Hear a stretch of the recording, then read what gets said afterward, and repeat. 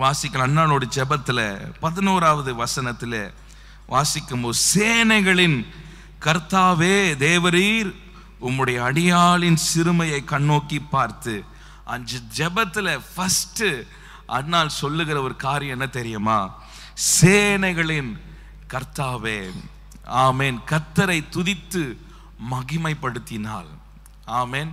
அந்த ஜபத்தில் ஃபஸ்ட்டு பார்க்கும்போதே தேவனை துதித்து மகிமைப்படுத்தினால். அதாவது சேனைகளின் கர்த்தாவே. அப்போ நம்ம ஜெபம் பண்ணும்போது ஆரம்பிக்கும் போதே நம்ம என்ன பண்ணக்கூடாது? உங்கள் பிரச்சனைகளை சொல்லக்கூடாது. ஜெபம் பண்ணும்போது ஆரம்பத்திலே உங்கள் பாடுகளை போராட்டங்களை அது இதுன்னு சொல்லாமல் ஆரம்பிக்கும் உங்கள் ஜெபத்தை ஆரம்பிக்கும் போது துதியோடு ஆறாதுங்க துதியோடு ஆரம்பிங்க. ஆகவே தான் வாசிக்கிறோம் சங்கீதங்களின் புஸ்தகம் நூறாம் சங்கீதம் நான்காவது வசனம். நூறாவது சங்கீதம் நான்காவது வசனம். அவர் வாசல்களில் துதியோடும். அவர் பிரகாரங்களில் புகழ்ச்சியோடும் பிரவேசித்து அவரை துதித்து அவருடைய அவரை நாமத்தை துதித்து. அவர் நாமத்தை ஸ்தோத்திரங்கள். அவர் வாசல்களில் துதியோடு. ஆமேன். அப்போ நீங்க ஜெபத்தை ஆரம்பிக்கும் போது என்னைக்கும் உங்களுக்கு எத்தோடனே பெட்டிஷன்ஸை சொல்லாம ஆண்டோட துதித்து கொஞ்ச நேரம் ஆண்டவர் புகழ்ந்து பாடுங்க. இந்த ஜெபத்தில் தான் பார்க்க முடியும். சேனைகளின் கர்த்தாவே ஹாலே லூயா ஒரு பறவைக்கு ஒரு பறவைக்கு ரெண்டு சிறகுகள் முக்கியம். அந்த பறவை பறக்கணும்னா ரெண்டு சிறகு ரெண்டு ரக்க இருந்தால் மாத்திரம்தான் அதற்கு பறக்க முடியும். அதை போல தான் நமக்கும் ரெண்டு சிறகு என்ன? ஜெபம். மற்ற பக்கம் துதி. ஆமேன்னு சொல்லுங்க. லூயா சில பேர் நல்லா ஜெபிப்பாங்க. எப்பவுமே ஜெபிச்சுட்டே இருப்பாங்க. ஆண்டவரை துதிக்க மாட்டாங்க. சில பேர் நல்ல வசனத்தை படிப்பாங்க. ஜெபிக்க மாட்டாங்க. எல்லாமே ஒரு பேலன்ஸாக இருக்கணும். ஆமேன். ஜெபம் ஒரு பக்கம் இருக்கணும். ஒரு பக்கம் துதி இருக்கணும்.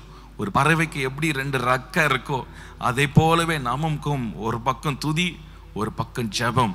அந்த பறவை பறக்கணும்னா ரக்கை இருந்தால் போதாது. அதுக்கு ஜீவன் இருக்கணும். ஆனால் ஜீவன் தான் கத்தோடைய வார்த்தை. ஆமேன். எல்லாமே பேலன்ஸ்டாக இருக்கணும்.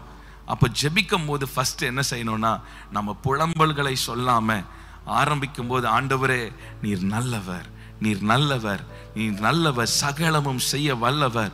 உம்மால் செய்யக்கூடாதது ஒன்றுமே இல்லை. ஜெபிக்கும் போது எடுத்தோடனே பாடும்போது பரலோகமே என் சொந்தமேன்னு ஆரம்பிக்காம எடுத்தோடனே நல்ல ஆண்டவர் துதிச்சு பாடுங்க. ஆண்டவர் உயர்த்தி போற்றி பாடுங்க.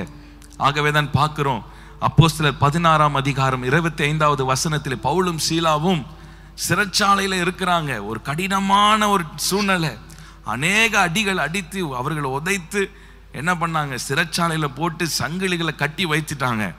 ஆனால் வசனத்தில் வாசிக்கிறோம் இருபத்தைந்தாவது வசனத்தில் அவர்கள் ஜெபம் பண்ணி பாடின பொழுது சிறைச்சாலின் அஸ்திபாரங்கள் எல்லாம் அசைந்ததாம். அவர்களை கட்டி வைத்திருந்த எல்லா சங்கிலிகளும் அறுபட்டு போனதாம். ஆமேன்.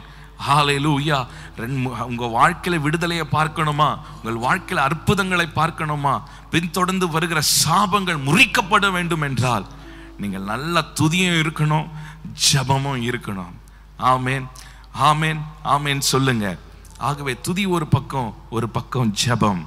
ஹalleluya. எங்க பார்க்கும்போது அண்ணாள் ஜபிக்கிறாள் சேனைகளின் கர்த்தாவே ஹாலே லூயா ஹாலே லூயா ஆகவே ஜெபிக்கும் போது நல்ல கரங்களை தட்டி உற்சாகமாய் ஆண்டவரை பாடி அவருடைய மகிமையான செயல்களெல்லாம் சொல்லி துதித்து அதுக்கு பிறகு உங்கள் விண்ணப்பங்களை வைங்க. ஆமேன்.